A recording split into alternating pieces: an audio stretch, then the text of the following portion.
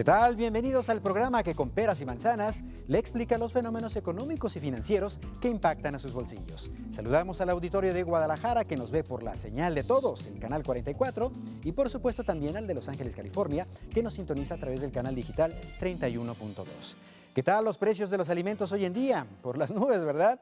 Y es que la situación no tan solo es atribuida a la recesión económica, sino que también de pilón se sumaron los jinetes del apocalipsis climático que enfrentamos, más el inevitable gandallismo de nuestros días. Hoy le hablaremos sobre los altos precios de los alimentos, pero antes de entrar en materia, hagamos el respectivo corte de caja. Y bueno, ya lo vimos en la semana, dificultades y convulsiones en algunos lados, pero sin embargo en México bastante bien. Acaba de concluir también en Puerto Vallarta, nuestro destino turístico más importante, el tianguis turístico, precisamente el tianguis turístico itinerante, concluyó actividades por arriba de los indicadores y las expectativas. En inversiones, por lo menos habrá, se afirma, más de 1.500 millones de dólares en transacciones comerciales.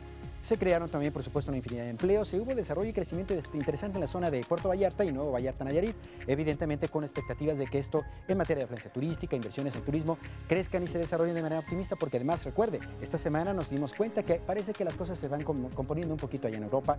En Estados Unidos no están pasando tampoco mal. Afortunadamente parece que las convulsiones se están diluyendo de manera intensiva. Pero en fin, afortunadamente hay buenos datos en algunas cifras indicadores económicos. Veamos cómo está esta semana, tal cual el guardadito que presenta las, cifras con respecto al asunto del ahorro y el crédito. En particular, los 7 a 28 días en esta jornada eh, ligeramente subieron 0.07%, ligeramente imperceptible. Sin embargo, hay contrastes con la 10 Georgia, la más importante de los Estados Unidos, que se ubican 2.18%. Este balance indica que efectivamente, al menos en México, buscan contener la inflación, ofreciendo más dinero por los ahorros para que el dinero se quede, digamos, reservado en el banco y no ande circulando por ahí en la calle generando inflación y complicaciones a la economía. En cuanto al crédito, le pide 28 días, idéntico que la semana pasada, 4.76%, la low interest 10.62%, ligeramente abajo en los Estados Unidos, 0.07%. Esto evidentemente advierte que las condiciones económicas en los Estados Unidos se están resolviendo, como lo comentamos precisamente al principio, y esto nos genera, por supuesto, muy buenos datos optimistas, expectativas para que se compongan, por supuesto, las cosas. ¿Cómo fuimos en asuntos de desempleo? Por supuesto, en la productividad, también en los otros indicadores generales de la economía. Echémosle un vistazo cómo está la báscula en esta semana, que al menos hay buenas noticias en cuanto al asunto de la productividad. Parece que, aunque no se ha registrado esta semana una variación específica, ya lo vemos ahí en la pantalla, en cuanto a productividad, los indicadores de inflación, índice de confianza, prácticamente todos se encuentran igual que la semana previa.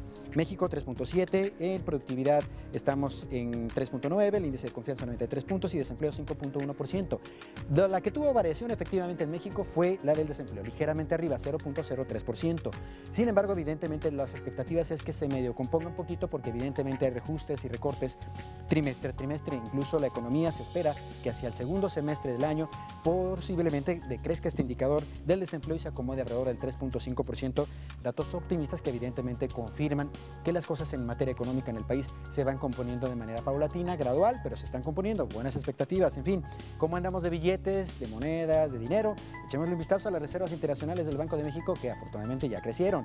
Dos semanas tuvimos anteriores con dificultades que habían decrecido, pero ya esta semana, ya lo vemos en pantalla, por supuesto, 101 millones de dólares se compuso hacia arriba, por supuesto, nuestras reservas internacionales del Banco de México que siguen dando muy buenos datos positivos. 148 mil 122 millones de dólares son lo que tenemos ahí guardaditos en el Banco de México que esperemos, por supuesto, de manera paulatina sigan generando confianza, optimismo en la economía nacional y esto evidentemente favorece la inversión extranjera. En remesas idénticos que la semana pasada, 22.970 millones de dólares, igual en Estados Unidos no hubo variación alguna, ni en reservas ni en remesas, tal cual 2.1 billones de dólares en reservas allá y 94.180 millones de dólares en cuanto a las remesas interesantemente desarrolladas en aquel lado del planeta Tierra. Pero bueno, ya obviamente es jornada, digamos, previa de semana, fin de semana, acomodándose, digamos, las cosas. ¿Qué tal? ¿Ya preparó su lista de alimentos, su lista de los víveres y toda la despensa que va a acomodar ahora? Ahí le vamos a presentar en la siguiente gráfica precisamente las oportunidades que se presentan en esta semana para que lo vaya armando en la despensa de la semana. Tal cual, lo vemos en la pantalla, se le antoja una agüita de piña, Buen dato, porque además ha bajado 9%, puesto que se encuentra en 5 pesos el kilo en esta semana. Oportunidad también, por supuesto, para una ensalada sabrosa, acompañar los alimentos en general. El tomate saladet bajó 16% hasta ubicarse en 6 pesos el kilo. Oportunidades también con el asunto de la milancia de res. Ya ve, el pescado, los mariscos están por los aires por el asunto de la Semana Santa y Pascua, pero sin embargo ha bajado 3% por ubicarse en 58 pesos el kilo y el azúcar refinada ahora sí que como para de la vida. 5% ha bajado en la última semana, 38 pesos el kilo. Aprovechelo.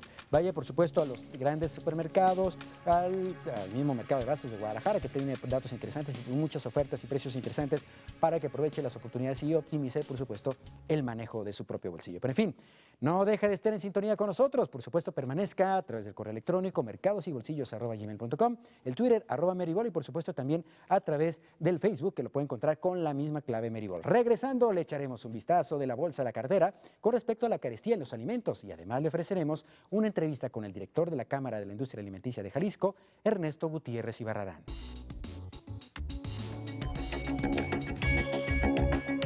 Pues en algunas cosas sí, en algunas, algunas cosas sí, pero hay cosas que no.